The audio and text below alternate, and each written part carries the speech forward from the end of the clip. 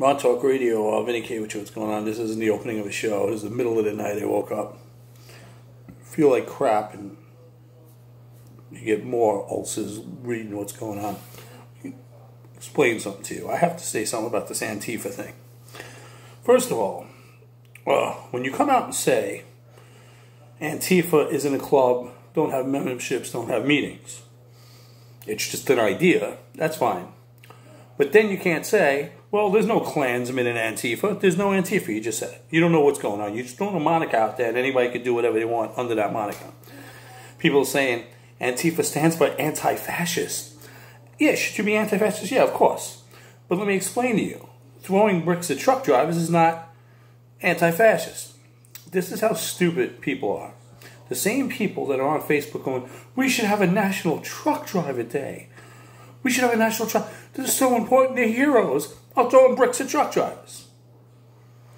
Throwing a brick through a guy's sneaker store window that's been closed for three months because of the pandemic.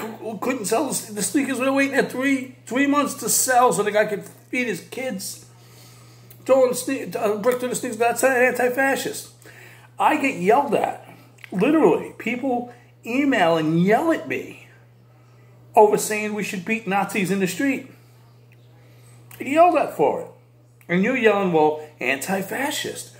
These are the same people, if there's 10 Nazis in the street, literally standing there with swastikas, or Klansmen, Klansmen, people who've been, who've been we're lynching black people. You want to hear to defend black people. These hipsters want to defend black people. Attack the Klansmen. You're screaming anti-fascist when there's Nazis in the street. You don't do anything. But you're going to put a mask on and throw a brick at a cop. Do you know how stupid you are? And don't get me wrong, I'm not I'm not one of those people that say, well, 99% of the cops are good people. It, that's false.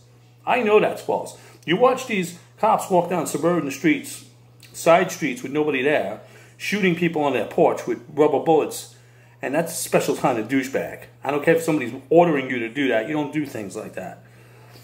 Smashing kids in the street on their knees, pointing pointing guns at kids. I understand. There's a problem. But don't hide behind. When, when you type something on the Facebook, when you go on the interweb and you type something, and you hide, people just hide behind, oh, Antifa's anti-fascist. Fine. Go beat up a Nazi. There's no problem with that. I have no problem with that. The law might.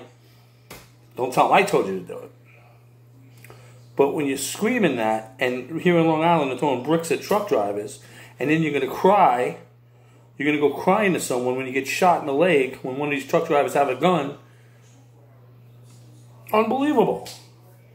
It's unbelievable. And then you got to remember, there are people out there that are pent up that haven't made money in months that we're going to say, you know what?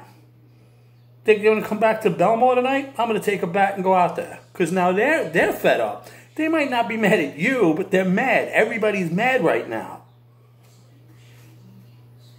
You just can't.